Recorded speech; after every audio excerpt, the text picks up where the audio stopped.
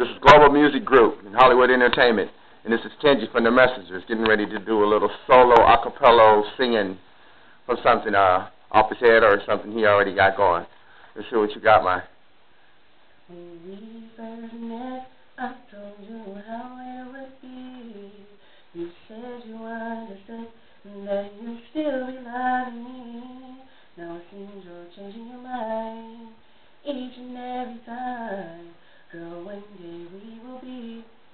You just wait and see. But as of today, it has to be this way. Oh.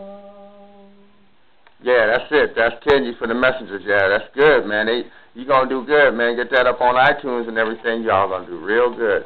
Well, this is Global Music Group from Hollywood Entertainment signing out for the 2011. So y'all check this out because it's gonna be somewhere.